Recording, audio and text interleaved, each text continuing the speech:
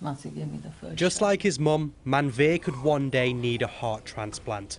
With the waiting list getting longer and a chronic shortage of donor organs, that life changing surgery may take a long time to happen. But he says he'd undergo anything as long as it keeps him alive, including living with a pig's heart.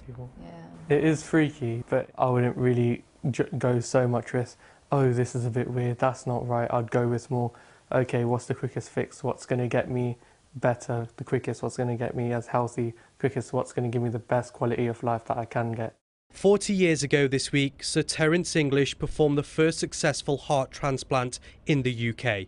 Today, he feels this procedure is almost ready for a huge development. It's likely that they will do a pig kidney transplant into a human within the next year, probably. And if that works, then it'll be used in heart transplants, and that'll make a huge difference.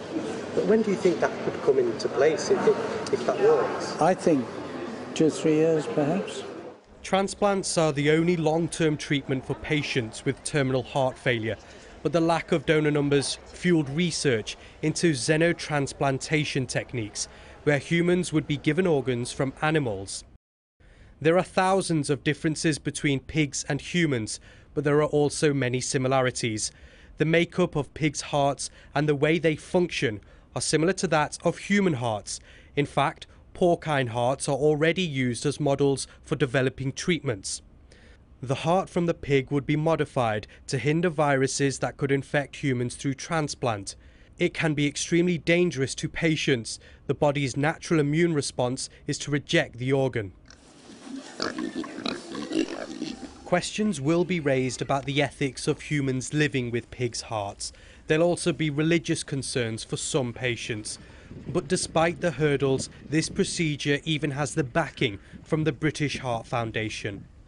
The patients who are waiting for a transplant are critically ill, and if it's shown to work, they will jump. They will have no problem about that because they know it's, it's you know, the only option. I just spoke to Thousands of people are in need of a heart transplant, and the demand for organs is on the rise.